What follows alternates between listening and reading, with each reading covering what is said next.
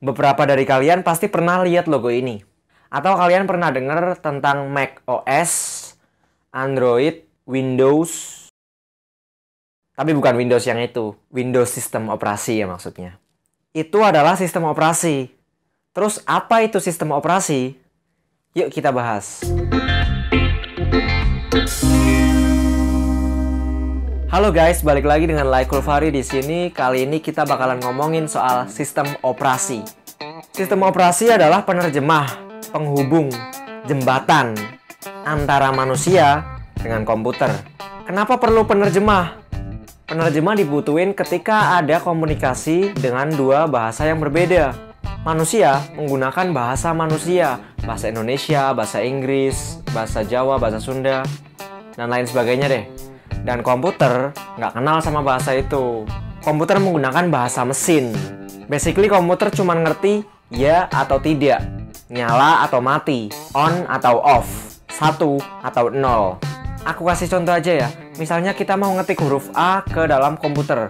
Pertama kita pencet tombol A di keyboard. Lalu akan ada sinyal bahwa tombol A sedang ditekan. Karena komputer nggak kenal alfabet A, B, C, D, E sampai Z, nah di sinilah sistem operasi berperan sistem operasi menerjemahkan huruf A tadi nih ke dalam bilangan biner 1 dan 0 itu. Nah, setelah diterjemahin ke dalam bilangan biner, komputer kan udah ngerti tuh. Lalu setelah komputer tahu bahwa huruf A ditekan, dia akan merespon dengan bilangan biner lagi. Terus sistem operasi bakalan menerjemahkan lagi bilangan biner itu menjadi huruf A yang ditampilkan di monitor. Proses ini akan berjalan terus-menerus, berputar gitu terus dan berjalan sangat cepat. Ya tergantung komputer yang kalian pakai juga sih. Kalau kalian masih pakai Pentium 1 dan RAM-nya 1 MB ya mungkin nggak secepat itu. Nah, kita kan udah tahu nih, sistem operasi itu fungsinya buat menjembatani antara manusia dan komputer. Terus apa aja sih sistem operasi yang ada? Sebenarnya sistem operasi itu ada banyak banget, ada banyak banget. Tapi bakalan aku kelompokin jadi tiga, yaitu Windows, Mac OS, dan Linux. Sebenarnya Mac OS itu masih keluarganya Linux, tapi biarin deh kayak gitu. Ada tiga ya. Windows punya sejarah yang cukup panjang, dari mulai Windows 1.0 sampai sekarang Windows 10. Mac OS juga mengiringi perjalanan Windows, sampai sekarang berubah namanya menjadi OS X. Dan yang ketiga adalah Linux. Linux adalah sistem operasi yang paling banyak. Ada banyak sekali sistem operasi Linux atau lebih sering dikenal dengan distro Linux. Ini adalah hierarki distro Linux. Kenapa bisa banyak gitu? Karena Linux adalah sistem operasi yang open source atau sumber terbuka. Jadi siapa pun boleh memodifikasi sistem operasi itu seenak jidat mereka. Iya, jidat mereka. Windows dan macOS termasuk sistem operasi yang closed source.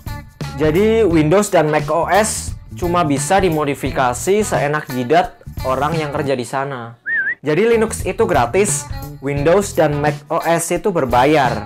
Buat kalian yang make Apple device, make Mac gitu, biasanya OS-nya udah dibundle sama hardware-nya. Jadi ketika kalian beli komputer, ya dapat sama OS-nya sekalian gitu.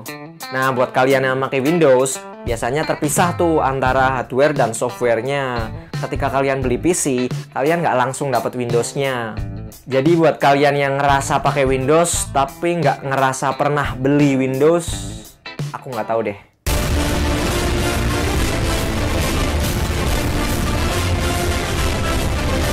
Oh iya, smartphone kalian juga punya sistem operasi loh. Android, iOS dari Apple ya, BlackBerry. BlackBerry udah mati.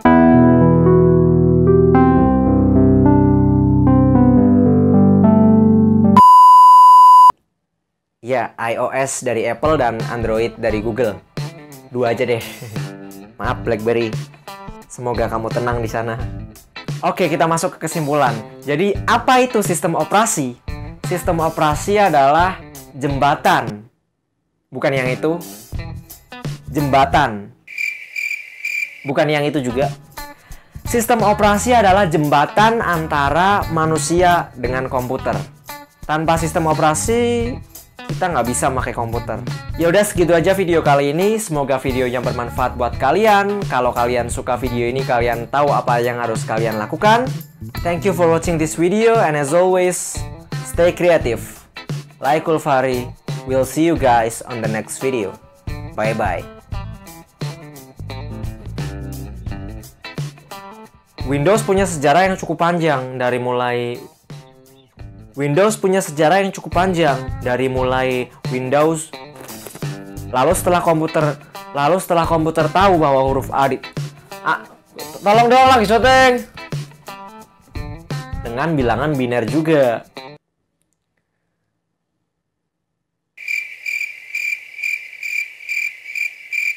Lalu sis pertama kita pencet keyboard percam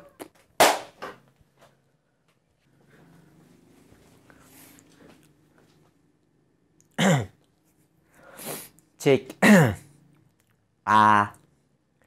Beberapa dari